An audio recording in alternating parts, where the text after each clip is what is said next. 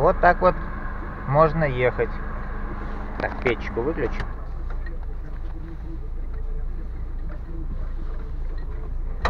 Можно даже как бы выйти. Опа! И о чудо, машина едет сама, без водителя. А где водитель? А вот водитель, а машина едет.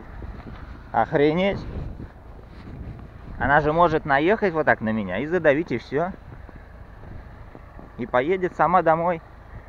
А я останусь лежать.